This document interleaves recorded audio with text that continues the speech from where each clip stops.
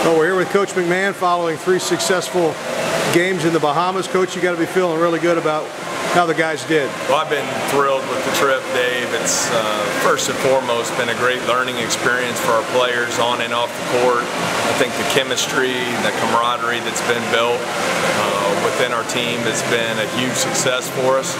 And the basketball, I thought, was really good for us. About Friday's opponent, a lot of the national team players here in the Bahamas, it was very physical. Uh, we had to find a way to tough out a win. I thought in the last two games you've seen us get better offensively. We really cut down on our turnovers, uh, and it led to a lot of balanced scoring for our team. And this, and this is big for the guys to just uh, bond and have a good time with each other.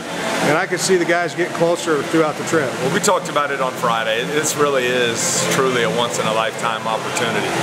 So I want everyone in our program to take advantage of it. Uh, we're so thankful and appreciative of our generous supporters and, and Racer fans uh, that have helped make this trip possible. last year's NCAA tournament team uh, that brought in that revenue to help make this trip possible for this team. And I think that's what Murray State basketball is all about.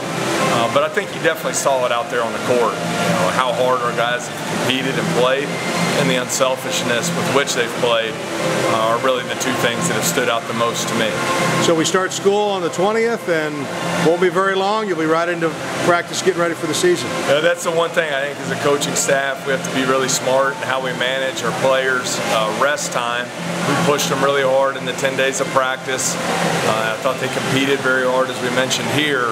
Now they need to take a little bit of time off. It's a long season. Uh, and then we need to get back here in, a couple weeks and get back to work and keep improving our team.